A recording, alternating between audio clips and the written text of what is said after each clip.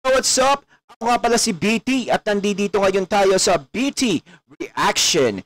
And welcome to my channel, Tunay na Kritiko. Ayun, maraming maraming salamat po sa lahat po ng mga sumusubaybay at nanonood sa aking channel at sa lahat po na nagsasubscribe. Maraming maraming salamat po. Siyempre ngayon, meron tayong panonoorin na isang video about ito sa nanay nila. Kay Nanay Lenlen. Aba eh, nako, nabisto si Nanay Lenlen. Oh, ho.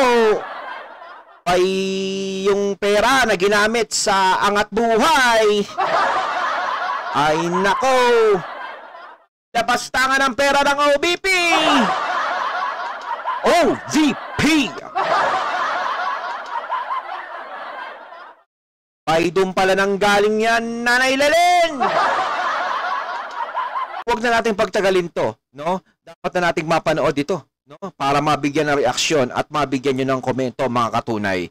O, pasok! Ito na. Ito na ang uh, sinasabi kong mga report ng COA. No? Commission on Audit. Ang sabi ng Commission on Audit, Yan to eh, si Jason Sa. Yung Office of the Vice President ay gumastos ng 25 million pesos para daw sa pananaliksik research uh, for COVID initiative Sus Maria Josep, no? Gusto pang uh, kompetensyahan yung IATF. Oh. Uh, sa annual report ng uh, COA, sabi ng mga state auditor, abay napansin nila, merong ginastos na 25 million para daw sa survey, research, exploration, development, at kung ano pang kaekikan, no? Just sa Office of the Vice President. Grabe. Oh. Uh, yung pala, eh ginamit lang yung pera sa angat buhay. Oh, yung Aha!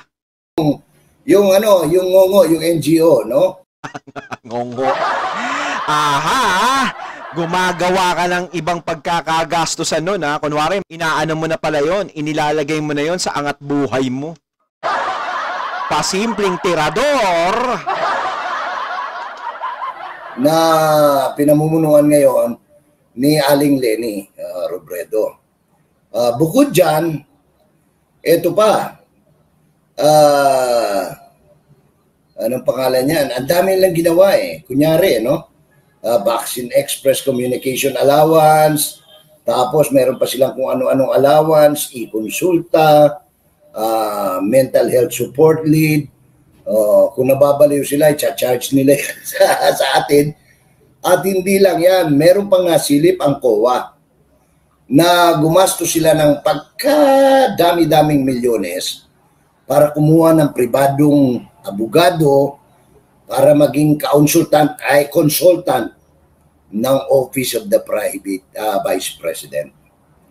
Eh kaya ako, kaninang hapon, eh sumulat na ako kay Auditor General, kay Chairman Jose Calida.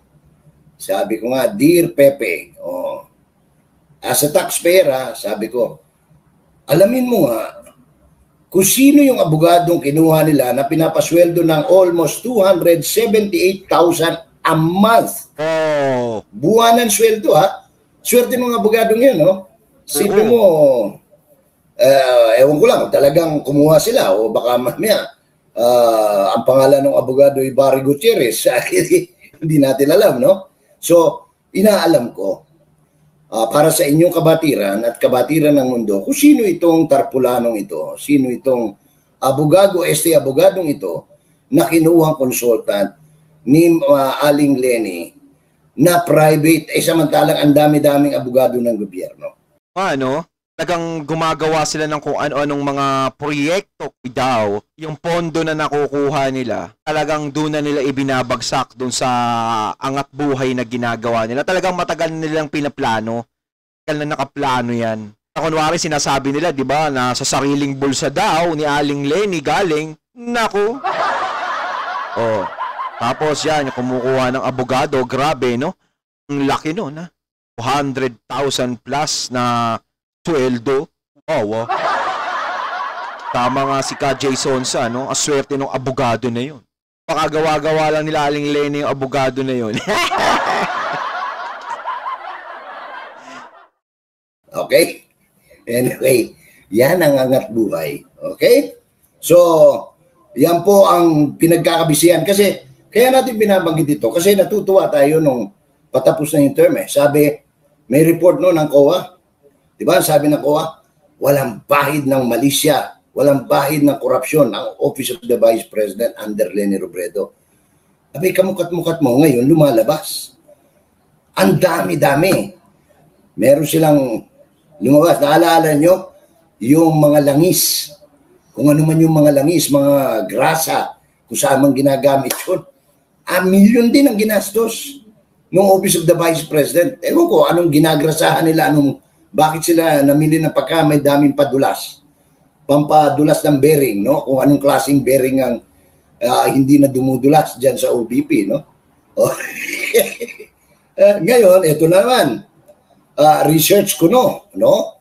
Uh, nagre-research paano yung ano, yung oh, gano'n. Ay, yung controversial na, ano ba yan? Hadouken! o Kamehame Wave! Yung gano'n. yung parang siyang kaping. Para sa angat, angat buhay daw. Tapos kumuha ng private lawyer. Oh. Kaya ito, marami pa dyan, I'm sure. Kaya tayo nananawagan kay Auditor General Pepe Calida. Maing hapon ni Muser. Ha? Tiga, ganito eh, Davao de Oro, Compostela Valley. Ha? Paki-check lang mo kasi uh, I'm sure all of you, kayong mga nanonood, I'm interested, sino itong uh, consultant, private consultant, na ginastusan ng milyones, ha? para anong tawag nito? Uh, kanilang konsultahin. Oh, kung ano man yung kanila ikukonsulta.